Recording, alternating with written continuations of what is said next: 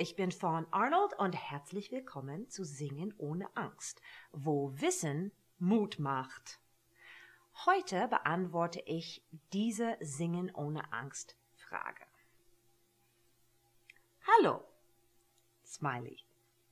Hast du zufälligerweise ein Video, wo du zeigst, welche wichtigen Übungen man am besten immer vor dem Singen machen muss? Es gibt nämlich so viele und ich weiß nicht genau, welche man genau immer machen muss, um die Bänder zu lösen und die Kiefermuskeln zu trainieren und so weiter, damit man alle wichtige Übungen halt gemacht hat. Wäre sehr cool, wenn du antworten würdest. Nochmal so ein Smiley. Danke und das tue ich jetzt.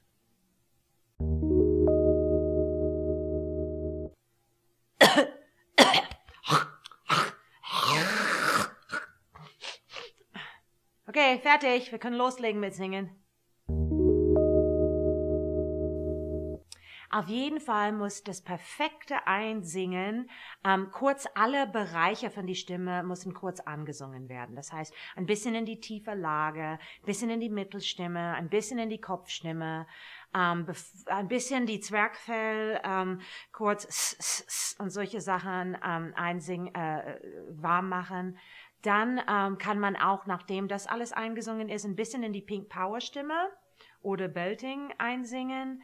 Und Zungenübungen müssen gemacht werden, damit die Zunge unter Kontrolle ist und ein, ein, ein aufgewärmt und die Kiefer ist locker. Wenn du auch noch Fragen hast, dann frag mich einfach. E-Mail mich an fragen at singenohneangst.de. Online-Gesangsunterricht kann nie und niemals echte eins zu eins Gesangsunterricht ersetzen. Aber ich weiß auch, wie teuer Gesangsunterricht sein kann. Als ich klein war, könnte ich gar keinen Unterricht leisten. Aber viele oder ein paar Menschen haben an mich geglaubt und mir geholfen. Und ähm, deswegen möchte ich dir helfen. Ich habe ein kleines Shop auf www.singenohneangst.de. Es heißt die Happy Übungen Shop und da kannst du für ganz, ganz, ganz wenig Geld mehr Übungen wie die Übungen hier downloaden als MP3. Also schau vorbei, vielleicht ist das ein Alternativ für dich. Nun kannst du mich abonnieren und ganz schnell zu Facebook gehen. Wir haben eine Facebook-Seite, Singen ohne Angst TV mit Fawn Arnold. Und da kannst du mich liken. Ja.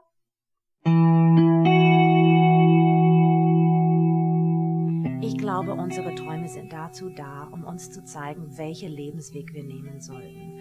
Also egal, ob du Profi-Absichten hast oder nicht, wenn du einen Traum von Singen in dir spürst, dann tue es. Denk daran, dass niemand auf der Welt hat genau die exakt selbe Stimme wie du. Deine Stimme ist so einzigartig wie deine Fingerabdruck und das ist wirklich wissenschaftlich erwiesen. Und diese Einzigartigkeit muss gehört werden. Also singe einfach mit Mut und ohne Angst. Wir sehen uns in 14 Tagen wieder. Happy Übing! by the river so sweet.